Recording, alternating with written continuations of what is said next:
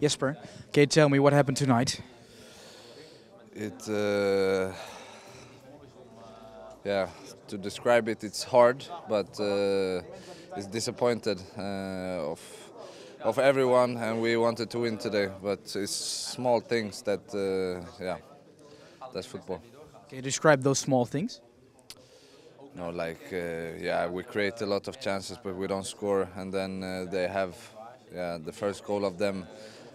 Yeah, I don't know. It's not it's not possible, and then. Uh, yeah, like it is, they scored two and we won, so we cannot say anything. So, um, yeah, we have to focus on the rest. We started well today, right? The first half, uh, nothing was wrong. We played very good football. We created some chances. Uh, nothing seemed to be this result tonight. No, I think we had 13, 14 shots first half, and uh, and they had I don't know, uh, but yeah, that's football. What went wrong in the second half? Can you describe that?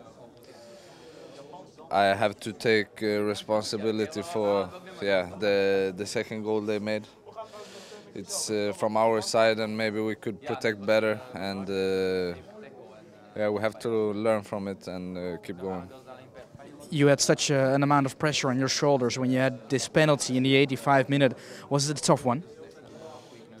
Yeah, it was, and uh, sometimes it feels easy and sometimes hard, and uh, yeah, I responded on a good way. So uh, yeah, What's the main feeling that you have after this game, after tonight?